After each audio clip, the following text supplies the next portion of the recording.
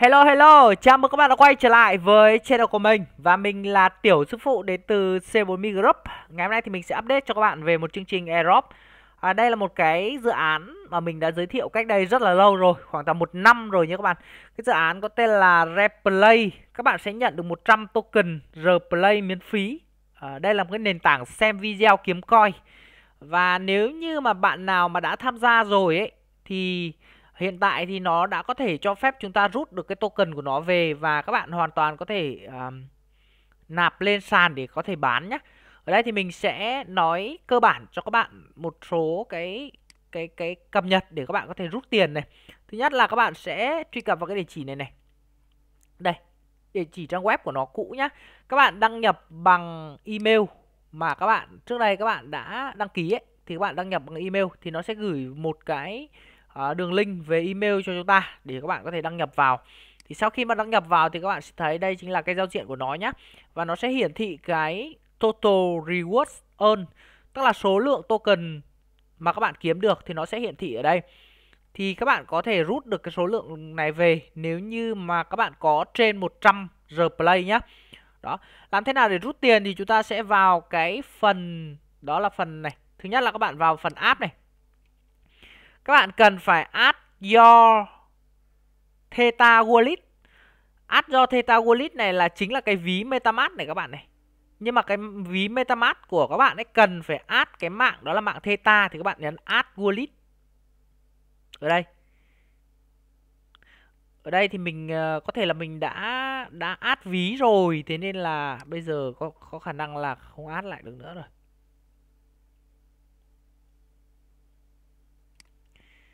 Ở đây thì mình đã add ví rồi. Đây này add ví rồi thì nếu như bạn nào mà chưa add ấy thì nó có một cái nút add. Và các bạn thêm vào. Sau đó thì nó sẽ tự động add cái mạng Theta Wallet này ở trên ví MetaMask cho các bạn. Đây. Và các bạn lưu ý một điều rằng cái mạng này nó sẽ sử dụng cái đồng TFUL này TPU này. Đấy, cái đồng này để làm phí giao dịch. Và cái đồng này thì chúng ta có thể mua ở đâu? Thì các bạn có thể mua cái đồng này ở trên sàn Binance nhá. Đây này. Hiện tại thì giá trị của đồng này là 0.04 đô cho một đồng, 45 đô. Đó và các bạn có thể mua ở trên sàn Binance để rút về. Thì để các bạn có được cái phí ở trên cái ví MetaMask này để chúng ta có thể giao dịch được cái đồng à, replay Thì sau khi mà các bạn đã cập nhật ví rồi đúng không? Thì các bạn sẽ vào cái mục profile của các bạn này ở đây nó có hai phần, đó là phần KIC và phần kết nối tài khoản Discord để có thể update được cái profile của bạn ấy. Ở đây thì tại vì mà mình đã làm hết rồi ấy, thế nên là nó hiển thị là chúc mừng này, đã thành công rồi.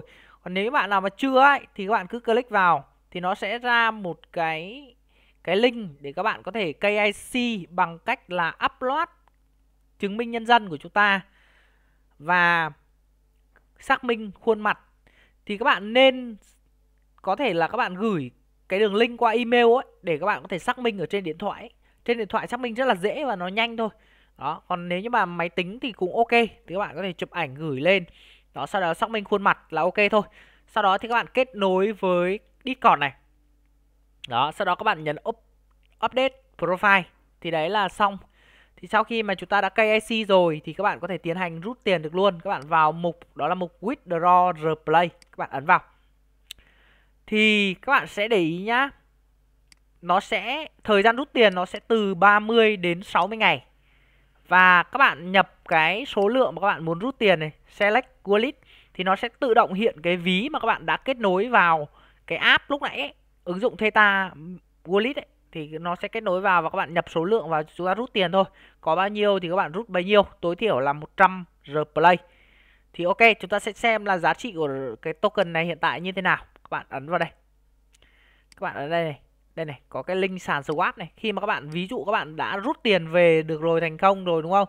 Thì các bạn truy cập vào cái sàn của nó nhá.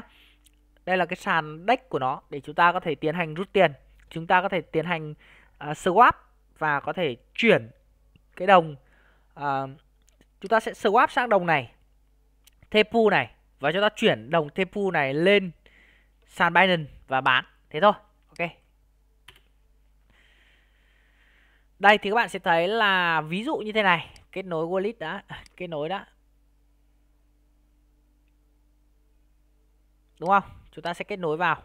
Sau đó thì các bạn sẽ nhập ví dụ là mình có 4.000 đúng không? 4.000 4.000 thì nó sẽ rơi vào tầm 567 tepu tính toán sang cái đồng này, chúng ta sẽ tính được là bao nhiêu tiền? Nhân với ở đây các bạn có 567 đúng không? Đây. 567 nhân với 0.045 thì số tiền là, các bạn nhận được là 25 đô. Đó. Thì đây là 25 đô đối với cái giá trị của mình nhận được. Thì bạn nào mà kiếm được nhiều ấy, thì các bạn có thể rút về đó hoặc là bạn nào mà kiếm được ít ấy, thì các bạn có thể gom lại và uh, xem là có thể kiếm được thêm hay không để có thể rút tiền. Đó. đó thì như vậy là mình đã update xong cho các bạn về cái kèo uh, replay replay một cái dự án nền tảng kiếm coi miễn phí.